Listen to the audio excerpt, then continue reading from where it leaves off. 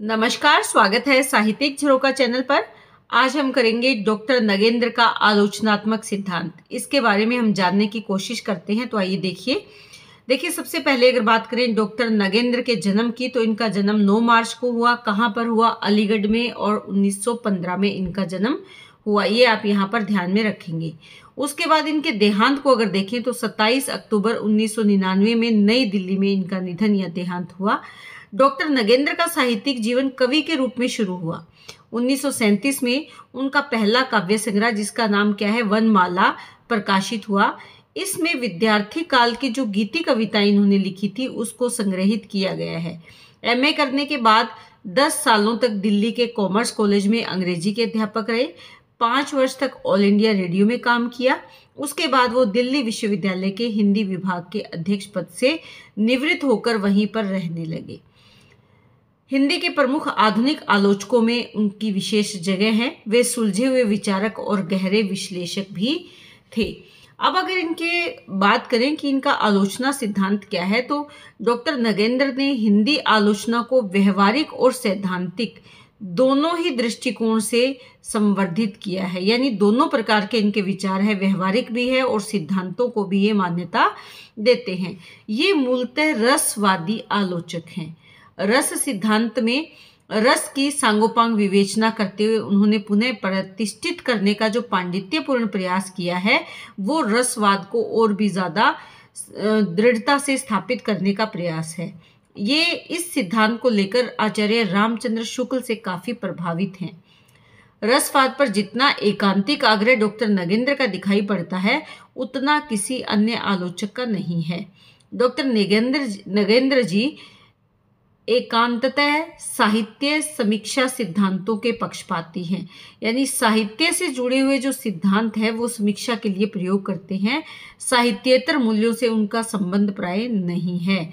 जो साहित्य से परे के मूल्य हैं, उनको वे महत्व नहीं देते, बल्कि साहित्य समीक्षा सिद्धांतों के वो पक्षपाती हैं।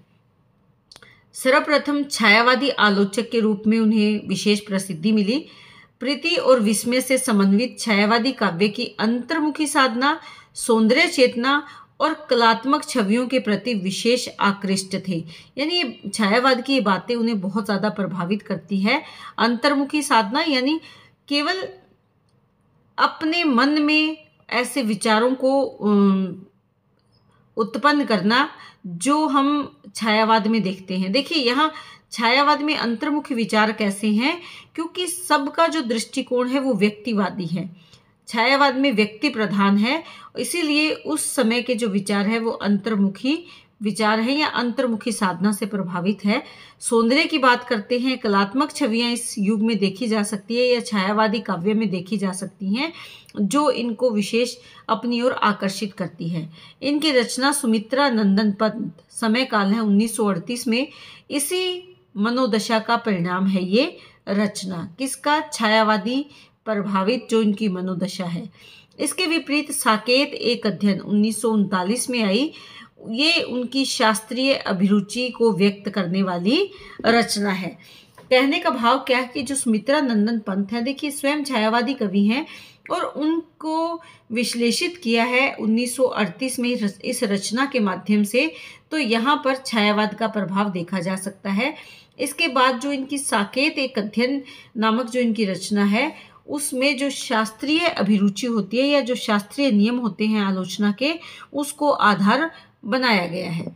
रीति काव्य की भूमिका उन्नीस सौ उनचास, दूसरी इनकी रचना है देव और उनकी कविता उन्नीस सौ उनचास इसी के लिए अध्ययन लेखन क्रम में उनकी रसवादी दृष्टि पूर्णतः पुष्ट हो गई है।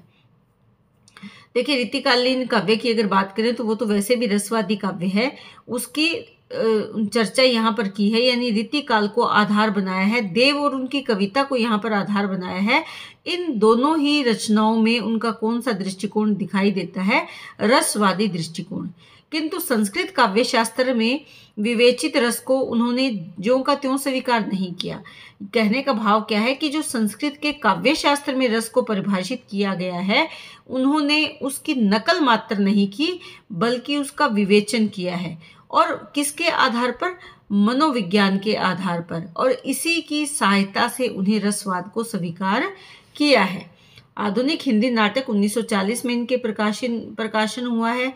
विचार और अनुभूति इनका रचना काल 1944 है। आधुनिक हिंदी कविता की मुख्य प्रवृत्तियाँ उन्नीस है। आदि ग्रंथों में उनकी तीखी मनोवैज्ञानिक दृष्टि को सहज ही पाया जा सकता है। यानी इनकी आलोचना किस आधार पर की है? मनोविज्ञान के आधार पर। इसीलिए कुछ लोगों ने उन्हें भ्रमवश फ्रायडवादी आलोचक कहा है। इसमें संदेह नहीं कि फ्राइडीय मनोविज्ञान का उन पर गहरा प्रभाव है, लेकिन यह स्वयं साध्य न होकर रसवाद का साधन है। यानी जो मनोविज्ञान है, वो रसवाद के सिद्धांतों को पुष्ट करने का साधन है, उद्देश्य नहीं है।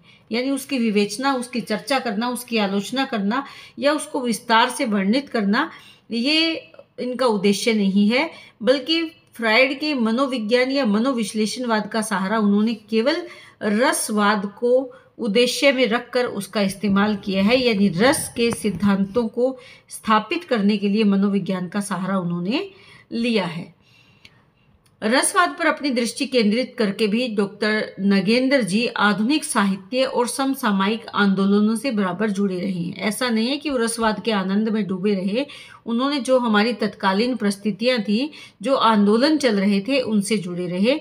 जहाँ उन्होंने कामायनी के अध्ययन की समस्याएँ, ये उन्नीस सौ बासठ में आया, ग्रंथ की रचना की।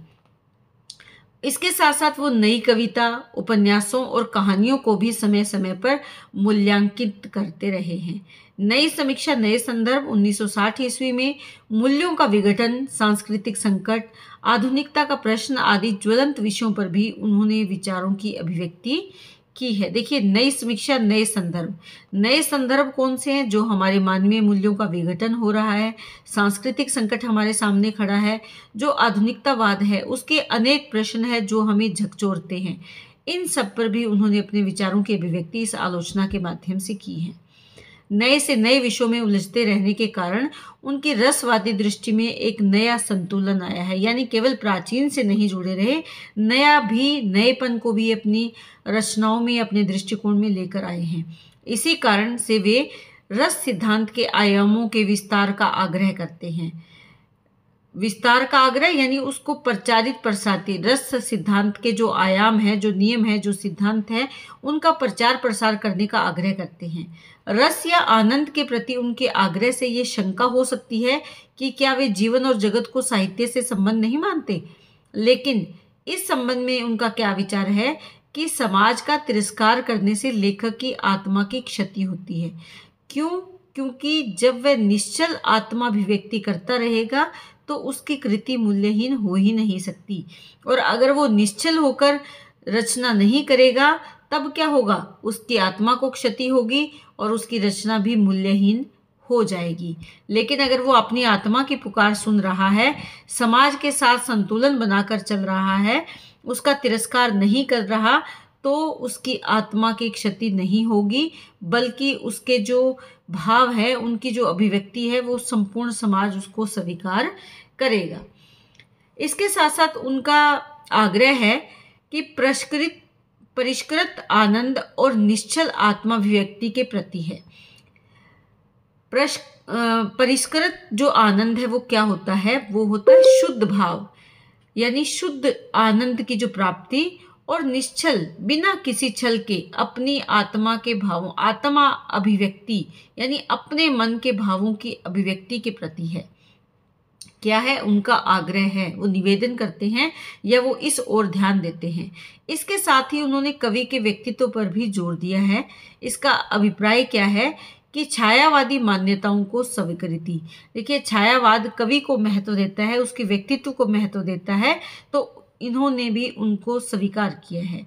जिस काव्य आंदोलन ने उनके आलोचक व्यक्तित्व व्यक्तित्व के निर्माण में उल्लेखनीय योगदान दिया हो, उससे प्रभावित न होना अस्वाभाविक होगा।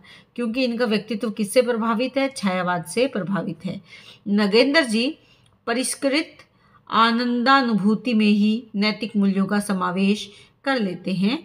उनका ये सिद्धांत रिचर्ड्स के मूल्य सिद्धांत के समानांतर दिखाई पड़ता है। रिचर्ड्स के अनुसार भी काव्य का मूल्य नैतिकता से संबंध न होकर अंतर्वृत्तियों के सामंजस्य पर सामंजस्य पर निर्भर करता है। अंतर्वृत्तियाँ जो हमारी मानसिक स्थिति है, जो हमारे मन के भाव हैं। भारतीय सौंदर्य शास्त्र की भूमिका, शीर्षक अपने नवीनतम ग्रंथों में उन्होंने हिंदी समीक्षक के एक अन्य अभाव की पूर्ति की है। कौन सी रचना में भारतीय सौंदर्य शास्त्र की भूमिका में? अगर इनकी व्यवहारिक आलोचना और सिद्धांतिक आलोचना में प्रीतिकर एक सूत्रता हम देखें तो वो हमें दिखाई पड़ती है। यानी दोनों आपस में क्या है? जुड़े हुए हैं। उन्होंने पूर्व और पश्चिम के महत्वपूर्ण काव्य शास्त्रों का हिंदी अनुवाद करने और कराने में सबसे ज़्यादा योग दिया है। उनकी प्रेरणा से आचार्य आचार्य विश्वेश्वर ने अभिनव भारती, वक्रोक्ति जीवितम, ध्वन्यालोक, नाट्यशास्त्र, काव्य प्रकाश आदि को हिंदी में अनुदित किया। इसके बाद पाश्चात्य काव्यशास्त्र के कुछ क्लासिक ग्रंथों के अनुवाद भी उनकी देखरेख में हुए हैं। जैसे अरस्तु का काव्यशास्त्र, काव्य में उदात तत्व, लोंगुनिस, लोगुनुस के द सब्लाइम का अनुवाद है और काव्य कला होरेसिस की आर्य, आर्स पोएतिका का अनुवाद है। इनका प्रकाशन भी हो चुका है। देखिए, लोंगुई लोंगिनुस जो है लोन जैनस भी जिनको हम कहते हैं, और आर्ट्स ये पोइतिका जो इनकी रचना है, ये बहुत प्रसिद्ध है, आप इसके बारे में अच्छे से जानते होंगे, इनका प्रकाशन भी हो चुका है।